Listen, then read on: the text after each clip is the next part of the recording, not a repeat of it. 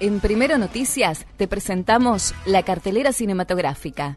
Estos son los estrenos de la semana. Llega Metegol, dirigida por Juan José Campanella, inspirado en un cuento de Roberto Fontana Rosa. Se trata de un padre que le cuenta a su hijo, Amadeo, que juega al fútbol con un metegol hasta que un día derrota en ese juego a Grosso, el chico malo del pueblo. Años después, el villano convertido en una estrella vuelve para apropiarse del lugar, demolerlo y convertirlo en un gran estadio de juego y negocios.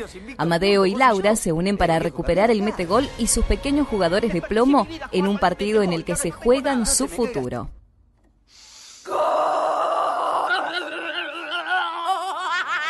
No cantemos victoria. Esto recién comienza.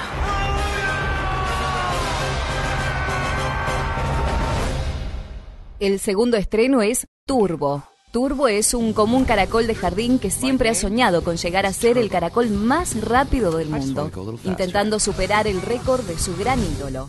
Tras un inesperado y extraño accidente, el pequeño animalito protagonista recibirá misteriosamente un poder que le dotará de una increíble capacidad de velocidad. Turbo, más contento que nunca, decide competir contra los mejores pilotos de los Estados Unidos. Hey, you robot? Are you radioactive, homie? Ooh, that's a new one. Continuamos nuestro recorrido por el circuito alternativo.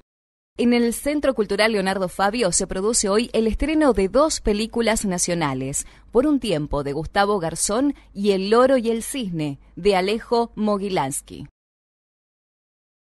Siguen en cartelera Titanes del Pacífico, Mi villano favorito 2, El llanero solitario, Monster University y Guerra Mundial Z. Estas son las propuestas del cine para que disfruten grandes y chicos.